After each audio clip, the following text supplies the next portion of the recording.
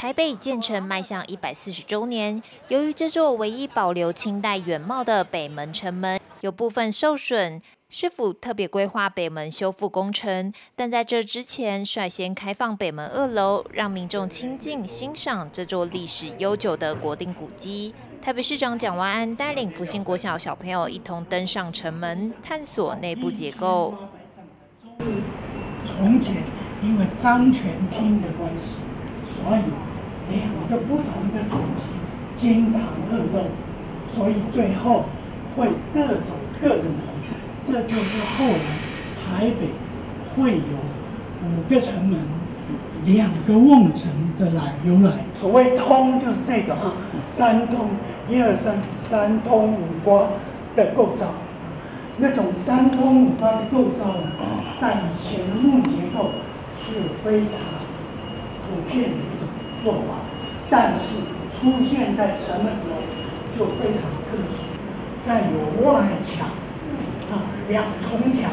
外墙是走廊，用来作为监视用途。啊，作为军事上的监视来用。回顾北门的风华岁月，邻近的福星国小与北门相伴走过一百二十六个年头。在祈福光和仪式中，福星国小八位学童与市长蒋万安、文化局长蔡诗平分别写下对北门的祝福与未来期许，并放入祈福时光盒中，期待往后再次开启光盒，迎接未来台北的城市发展。希望台北。希望我们再创百年的风华，迎接下一个一百年。市长是呃台北市的市长嘛，所以他的格局呢要看得比较远。那我们是文化局，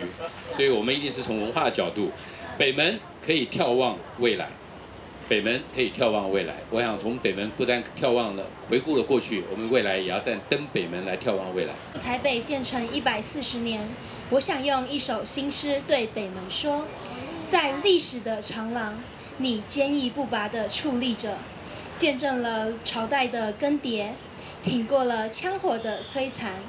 从灰白到有了色彩，从拥挤到有了自己的空间，独一无二的外貌，蕴藏着几千万个脚步与回忆，在这一百四十年的光阴里，让我们一同纪念这历史性的一天，让我们一同怀念。我们曾走过的岁月，让我们一同展望你崭新的未来。